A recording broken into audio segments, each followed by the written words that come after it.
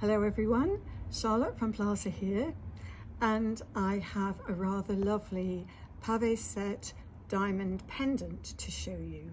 Now this is a heart-shaped pendant that has a carat of diamonds set in 18 karat gold. And I think this would make a beautiful piece of wedding jewellery. If anyone is thinking of uh, getting married, what a lovely gift to offer a bride on her wedding day. So it's a quite a puffy heart. It's it's got depth to it.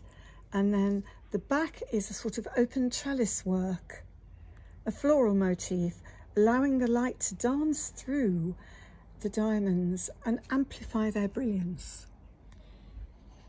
It has diamonds on the bail and it is suspended from an 18 karat white gold chain.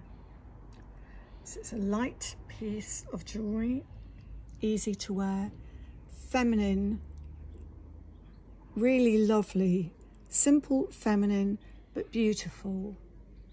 Dating from the 1990s, it is stamped 750 and Browns, which may have been the, the makers or the original retailers, tested as 18 karat gold, and it is 975 pounds which is approximately $1,200.